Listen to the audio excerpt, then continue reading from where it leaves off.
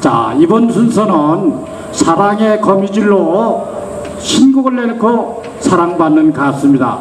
정말 깨꼬리 같은 목소리로 사랑 많이 받습니다. 오늘은 내장산 그리고 인생 아리랑을 보내드리겠습니다.